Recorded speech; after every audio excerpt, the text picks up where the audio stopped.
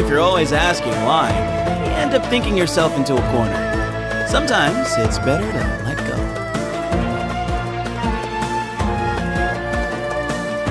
Give me some space.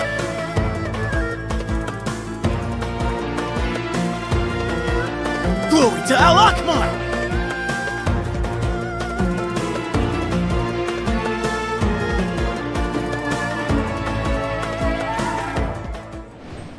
Oh, Okay. His design is so cool. He looks amazing. Yeah, the clothes and the hair, I love it. Right? Sethos didn't just get power and wisdom from his desert heritage, he's also talented in archery.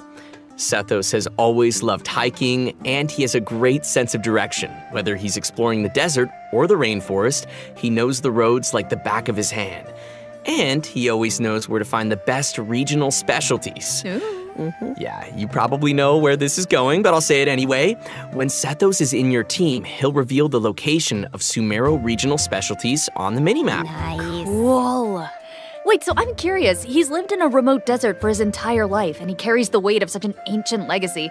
To me, it seems like someone with that kind of upbringing would either be like really introverted or just super arrogant, but Sethos doesn't seem like that at all.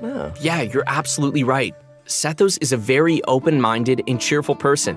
As the successor to the mysterious Temple of Silence, he had more educational opportunities than other people who live in Sumeru's desert. His responsibilities drive him to learn about other people and places. He has a very open mind and he tries to be optimistic.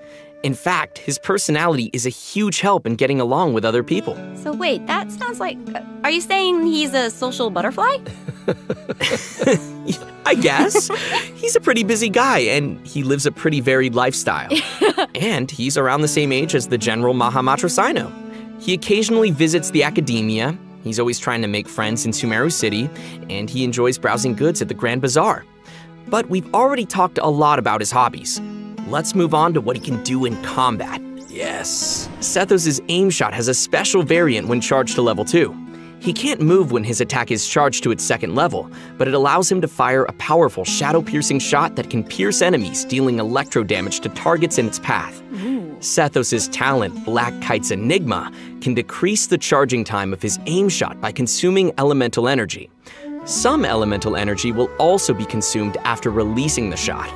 Nice. Ooh, useful. Yeah, and also I noticed his aim shots take a really long time to charge.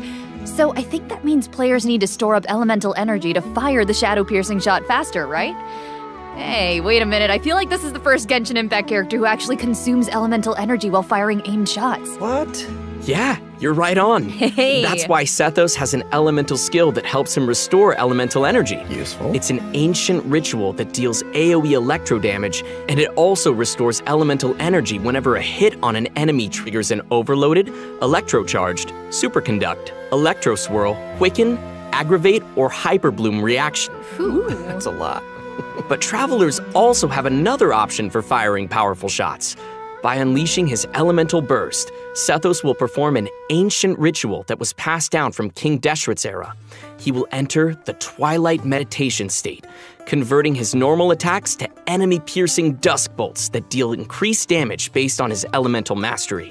Oh, that's that's cool. That sounds like a mini version of the shadow piercing shot, only it doesn't take as much time to fire. Useful. Okay, also, it seems like the records of King Deshret have a lot of powerful abilities, so, uh, between you and me, does that mean Sethos has mastered other mysterious rituals and techniques? Of course! Yo. I'm sure that the Temple of Silence has a whole archive of secrets.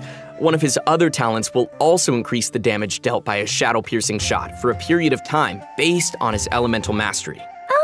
Okay, alright, sounds like the Temple of Silence is a real impressive legacy. No kidding. So many ancient rituals. Sethos is definitely a talented fighter who can make full use of his martial heritage. He's similar to Clorinde in that sense. Yeah. Oh, wow.